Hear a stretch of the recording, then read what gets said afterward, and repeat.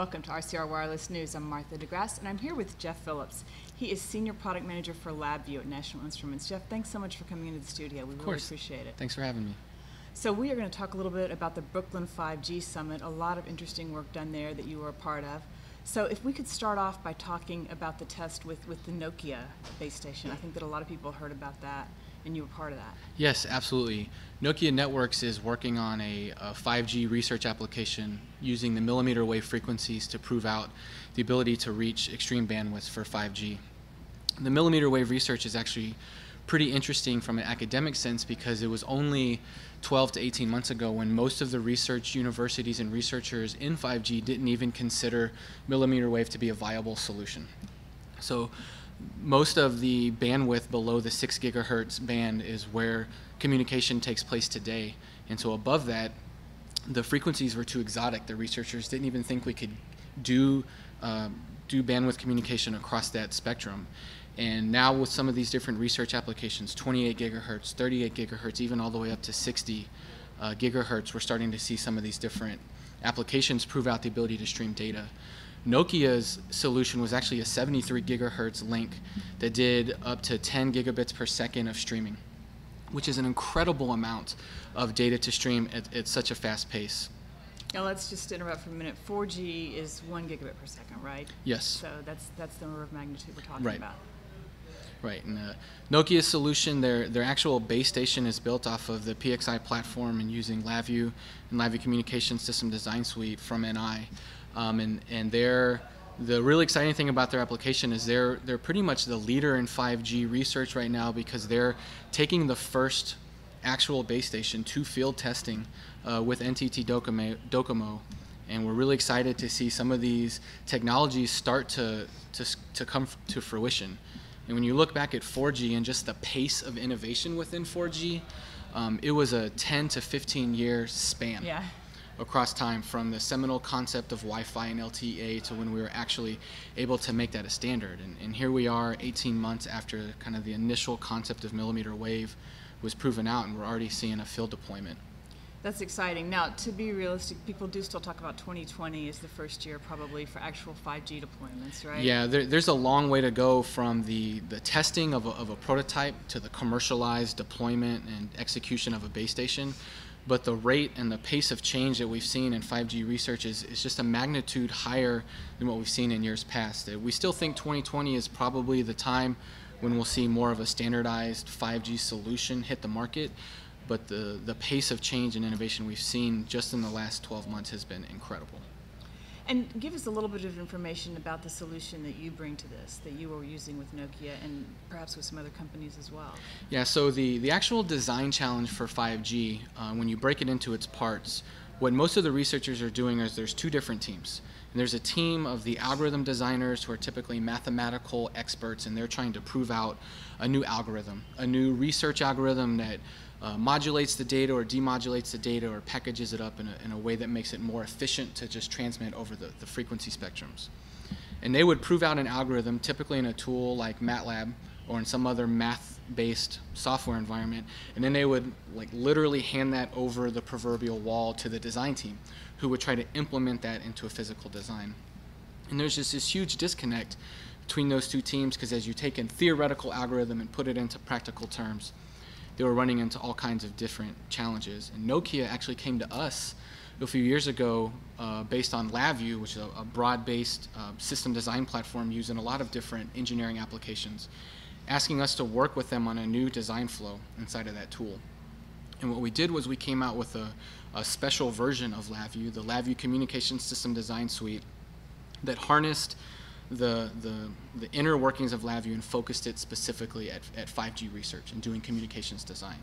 So we pulled out a lot of the extra pieces of LabVIEW that were targeted at general embedded design or high production test and really focused the design flows, the IP, the UX inside of that product specifically for communications design.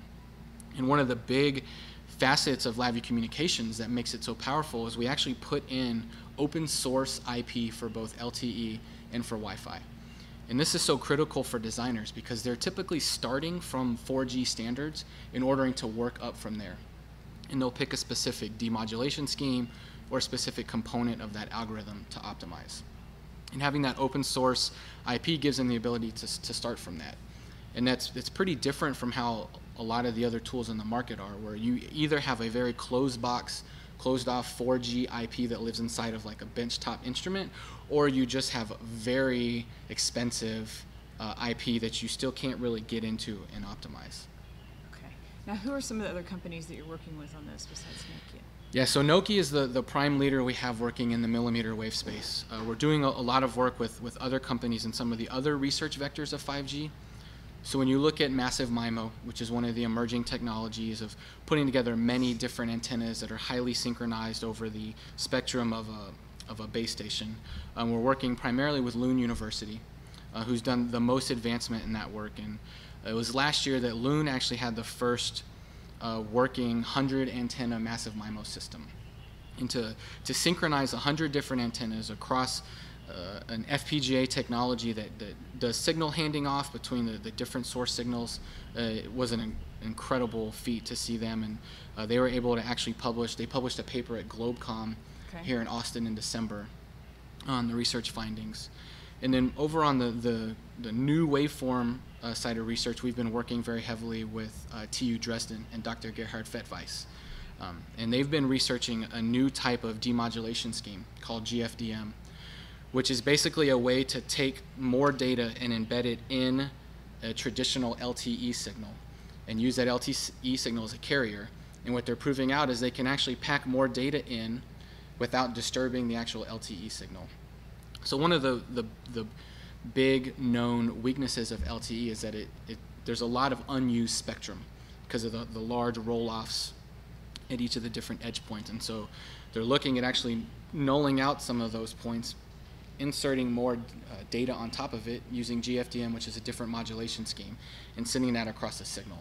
And uh, TU Dresden has a, a, functional prototype where they're streaming 720p live HD data uh, with carrier GFDM signal on top of it without actually uh, sacrificing the integrity of the, the carrier signal itself. Now, would this be considered part of 5G or part of LTEA?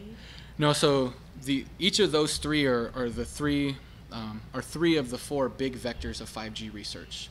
When you look at what most researchers actually think 5G is going to become, it's going to be some combination of using a massive MIMO system in millimeter wave bandwidths or doing GFDM type of demodulation on a massive MIMO system. There are lots of independent research teams looking down each path. If you take Nokia Networks, for example, they have teams looking at each of the independent vectors. Even at Brooklyn 5G, uh, Nokia demonstrated a, beef, a uh, massive MIMO solution where they can actually take these smaller signals and shape them around corners to get better coverage. Um, when you look at the different companies we're working with, one of the advantages that our platform brings them is the flexibility of LabVIEW and the PXI form factor.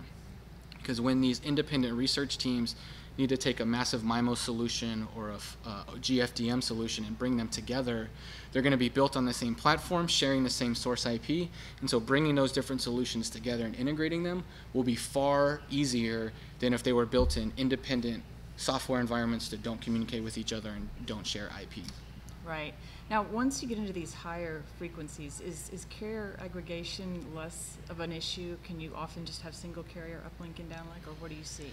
Yeah, I mean, that, that really depends on, on the type of application or the integrity of the signal that you need that you need to, to publish back and forth. The fourth vector um, that we didn't talk about was small cell research or densification yeah.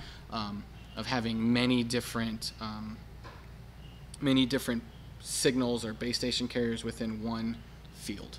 Um, and there's a lot of interesting research happening in those fields, um, you know, as well. And like I said, the actual end solution will be will end up being some combination um, of the four.